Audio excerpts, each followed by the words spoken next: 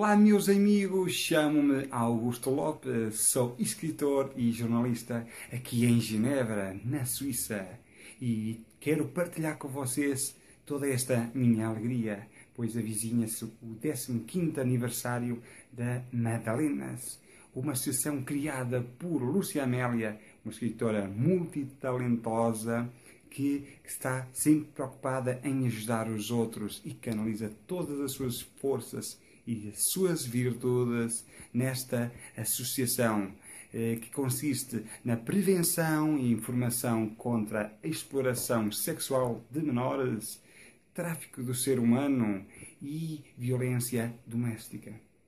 Juntamente com as edições Helvetia, Lúcia Amélia criou a antologia eh, Madalenas Prosa e em Verso.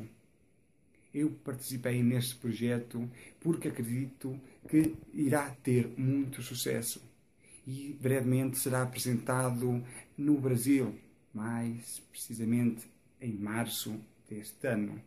Estarei lá para apoiar a Lúcia Amélia e todo, todas as pessoas que acreditaram neste projeto.